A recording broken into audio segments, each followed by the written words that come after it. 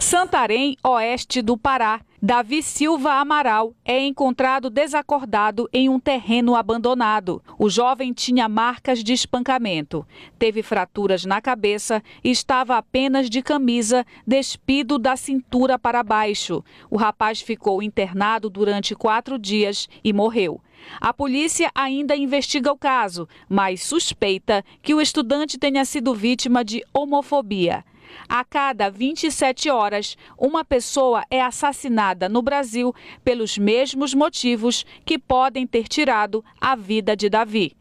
Só no ano passado foram registrados 372 casos de violações contra a população LGBT no país. Aqui no Pará, houve um aumento desses casos de 35% em 2018 em comparação a 2017.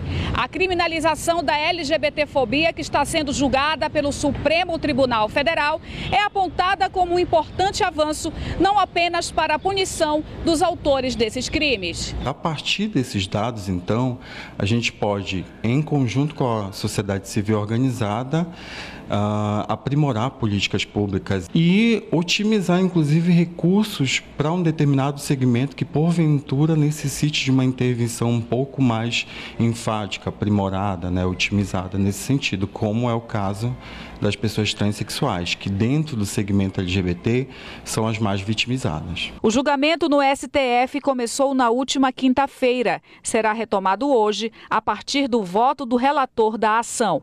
Um resultado aguardado com ansiedade. Esse ano, o governo do Pará deve desenvolver diversas ações voltadas à população LGBT. Ampliação desse canal de denúncia, que hoje conta apenas com o Disque 100 e o Disque 181. Né?